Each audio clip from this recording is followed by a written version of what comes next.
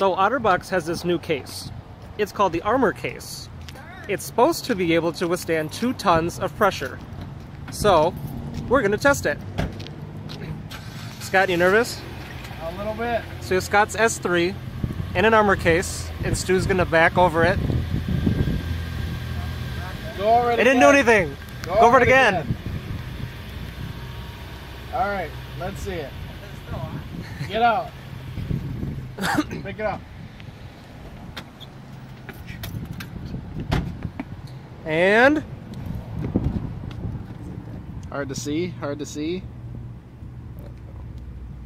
Not on. did you turn it off?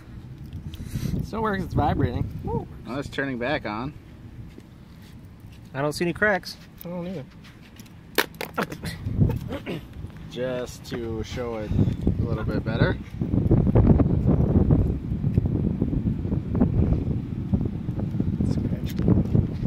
Little wear and tear on the case.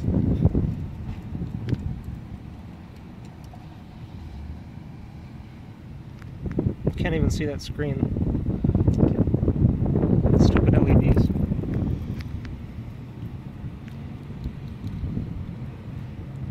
Well, phone's on. I can't see anything because of the glare, but Phone is on, screen is not cracked. Did you run over it? Mm-hmm. Yep. I can't run over it. Brooke's car is heavier, we should have used hers. Yeah, right. It didn't do it. Didn't do anything to it.